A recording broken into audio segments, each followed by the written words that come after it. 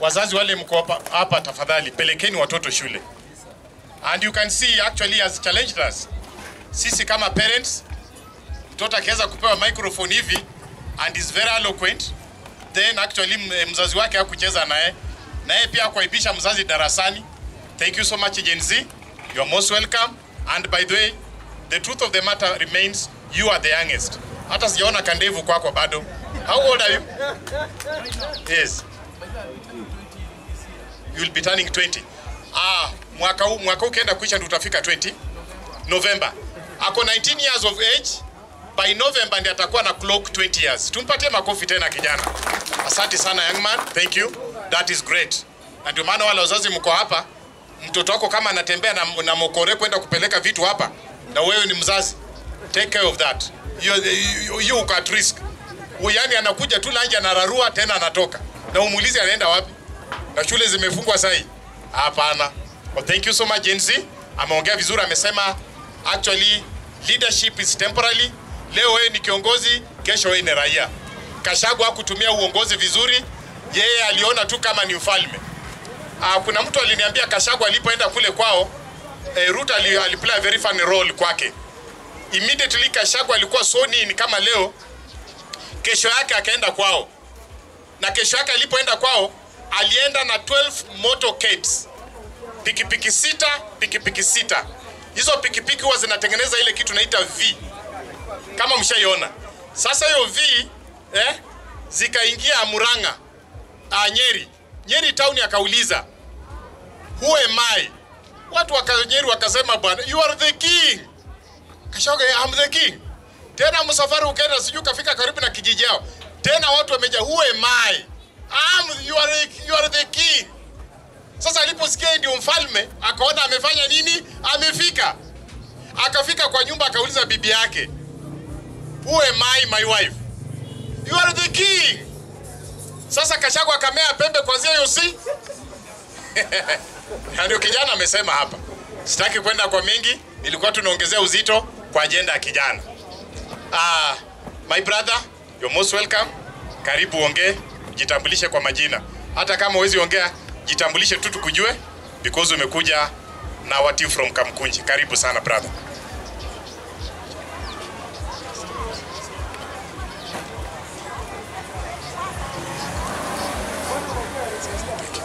Ah, thank you, thank you. Eh, thank you after the consultation. Nimejua the position. Ah, karibu sana my brother. Ah, kutoka Kamkunji.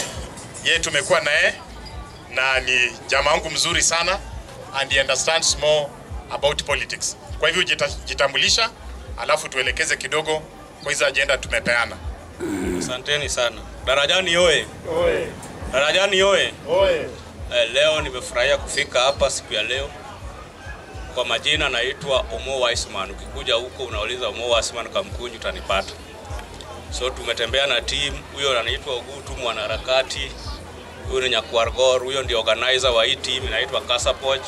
Kasapoj in full ni Kibra activist for social administration. We have uh, Danson ako hapo, tuko na John, then Ugola wa Kibra. So juu ya time nitaenda faster, tuendelee mbio mbio, kwa sababu ajenda ni Kachagwa anaenda nyumbani. Unajua, mimi nilijua tunakuja kuongelea vile tutaapisha Kindiki, kwa sababu mambo ya Gachagua tulimaliza kitambo sana. The moment tulimalizana na yeye Senate, hiyo maneno iliishia hapo, kwa sababu Unajua, ukiona gari hii gari ilikuwa inakimbia inaitwa Kenya Kwanza, lakini haikuwa na mechanic yenye ilikuwa kwa hii gari alikuwa fake. Ndio maana Ruto akatafuta mechanic anaitwa Raila Amolo Odinga. So the moment mechanic aliingia hapo, akaona shida kubwa ya gari sio driver, ni huyu makanga. Akasema huyu jamaa anachukua pesa, saa zile service ikifika amepotea na pesa. So ndio baba akamwambia kitu ya kwanza ufanye, toa huyu makanga, weka mwingine mwenye ataleta return. Ndio maana sasa tumeamua huyu anaitwa Rigathi Gachagua ni makanga mwizi na ni makamba mkabila. Unajua, ukiingia kwa gari gari ya inchi ambayo inaitwa Kenya, alafu ikiingia kwa gari ameweka Inoro FM kuanzia asubuhi mpaka jioni, customers wanaongeleshwa Kikuyu. na customers ni Wakenya wote. Tuko na kabila arobaini na mbili na mtu anaongea Kikuyu throughout, so ilibidi mechanic aanze na yeye, na wacha niwaambie leo, unajua kuna kitu watu wengi wanaogopa kusema. Shida ya Gachagua sio ukabila peke yake, but wenye wanaelewa Raila Molo Odinga, mnajua Raila Molo Odinga akiingia mahali anaingia kama co-president, aingia ati bado Ruto atamwambia bwana, ende uone Gachagua. So kitu ya kwanza ilikuwa Gachagua aende, apende asipende. Si Ruto alienda, tukafanya hapo na Matiang'i. Sasa yeye pia ilibidi tu aende ndio tupate mtu baba akiongea anaongea na Ruto direct, wanapanga inchi. Ndio maana sasa tunawaambia leo, tunajua saa hizi tuko na vacancy pale kwa interior. Omwana wa Sara Ruto anafaa ajue tumemsaidia juu, kama sio Raila Amolo Odinga, kama sio Raila Amolo Odinga saa hizi angekuwa Sugoi huko anakusanya zile mayai yao, kwa sababu msicheze na Wakikuyu hii Kenya. Hao watu ndio wana run economy, na wakisema unaenda, my friend, they can mobilize resources na ujikute uko nyumbani. So tulimsaidia yeye, pia lazima, lazima afanye nini? Arudishe mkono juu. Raila akiingia kwa hiyo serikali alienda na 6.9 million Kenyans wenye walimpigia kura. Kwa hivyo tukiingia hapo kama 6.9 million na yeye alikuwa na 7.2, hii serikali inafaa tunagawa katikati, inakuwa tu 50-50 ndio tunaendelea na hii maneno ingine, sijui alitupea nne, hizo nne haijatosha. Kwanza tunataka tuongeze hizi vitu ndio tukue 50-50, kwa sababu contribution yetu pia ni 50-50.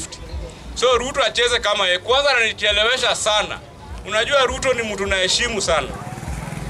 Unapata mtu ukiangalia Raila Amolo Odinga alikuwa na support ya Uhuru Muigai Kenyatta. Huyu alikuwa sitting president tulikuwa na kila kitu, tuko na system, tuko na deep state, tuko na sijui Atuoli, Kinoti, kila mtu. Lakini huyu jamaa ametokea sijui from nowhere akatuweka kona, akatushinda asubuhi na mapema. Huyo sio mtu wa kuandarate. Ati sasa Rigathi Gachagua mwenye amekuwa kwa siasa for seven years, ati anakuja kusumbua William Samoei Ruto. Saa zingine naiangalia tu hivi naona tu huyu jamaa alisumbua Jirongo, sijui akatoa nani, akatoa Moi. So tunaambia Rigathi Gachagua yeye yake imeisha. So mambo ya koti, tunaambia koti watuharakishie. Tunataka kumalizana na hii story by next week, tuanze kuongea mambo ingine. Nikimaliza Washuka, wacha tu niseme ya mwisho about term limit.